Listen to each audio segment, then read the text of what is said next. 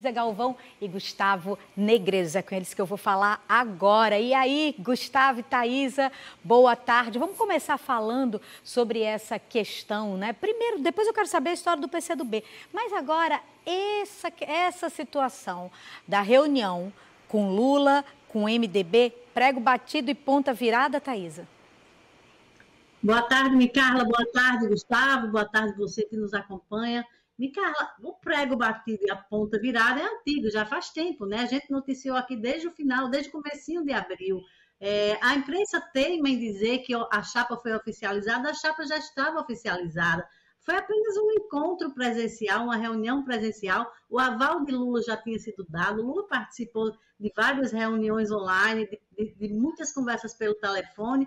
Então foi só para a forma, era a foto que faltava e a foto está aí. Micarla, e aí é, a oposição vai trabalhar muito fortemente, vendo essa chapa completa, vai trabalhar muito fortemente na, na, numa questão que Gustavo tem, tem falado aqui sempre, que é a questão do, do, do, dos alves. A governadora Fátima Bezerra ter adotado os alves. Mas aí a gente faz aquela, aquela conta dos alves que, estão que tão, estariam ali no apoio à governadora Fátima Bezerra, e o alves terá o voto da governadora, a votação da governadora Fátima Bezerra, que é o vice, na chapa da governadora, que é o vice Walter Alves. O ex-deputado Henrique Alves vai disputar pelo, PSD, pelo PSB o mandato de deputado federal, mas se ele não for atrás dos votos dele, os votos da governadora Fátima Bezerra não vão elegê-lo. O ex-senador Garibaldi Filho vai disputar mandato de deputado federal, mas se ele não for atrás dos votos dele, não vão, não vão ser os votos de Fátima e Walter, mesmo sendo filho dele, que vão elegê-lo o, o, o vereador Felipe Alves do mesmo jeito.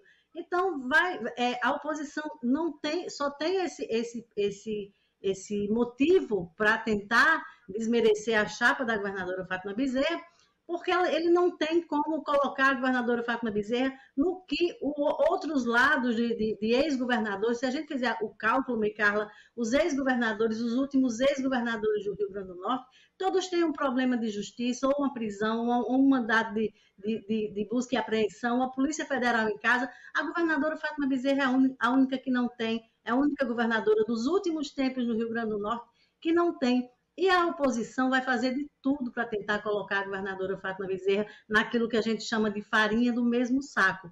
E aí, não, como não tem o, o, o problema é, é, jurídico que os outros tiveram, vão tentar bater na tecla do, do, do, do, do número excessivo de alves ali no entorno da governadora Fátima Bezerra. Agora eu quero saber de você o seguinte: quem parece estar buscando né, aliados é o pré-candidato Fábio Dantas, que foi a Mossoró buscar o apoio do prefeito Alisson, do Solidariedade como ele, e que não esteve no lançamento dessa pré-candidatura.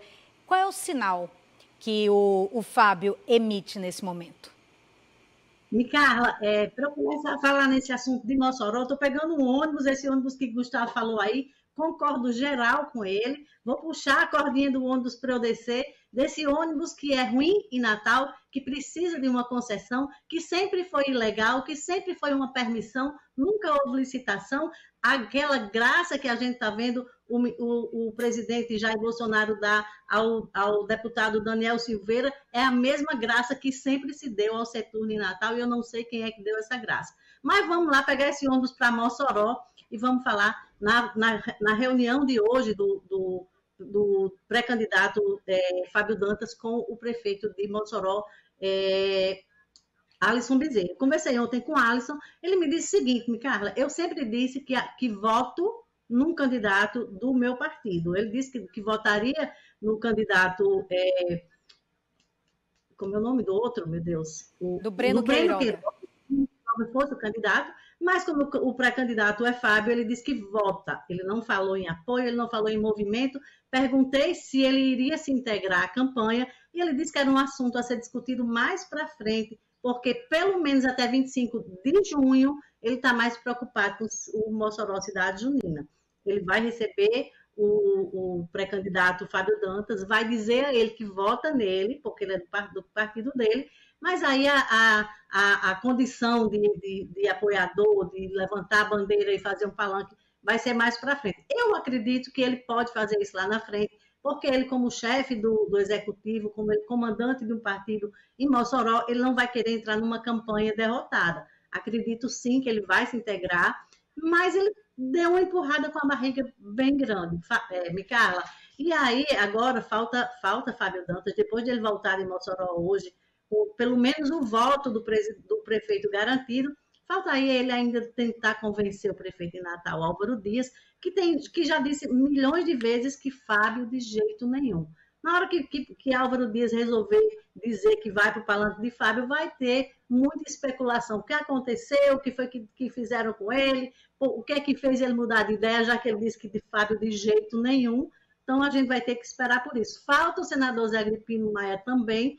Senador Agripino Maia tem silenciado, andou fritando o ovo, me Carly, fritura é uma palavra que em política a gente tem que ter, botar as antenas ligadas para saber quem, na realidade, ele queria estar fritando ali no lugar daquele ovo que ele colocou nas redes sociais, fritando o ovo. E falta também o deputado Ezequiel Ferreira de Souza, que eu não vejo encaixado no palanque do candidato Fábio Dantas, do pré-candidato Fábio